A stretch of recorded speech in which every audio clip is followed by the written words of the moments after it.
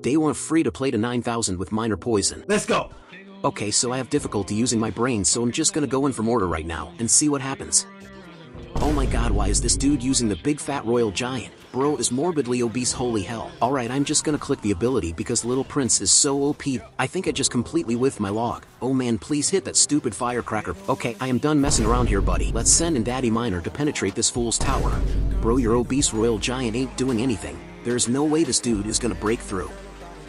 Oh my goodness, I love you little prince. Bro is going absolutely ham on this dude. Blood just whipped up the 9 on this fool.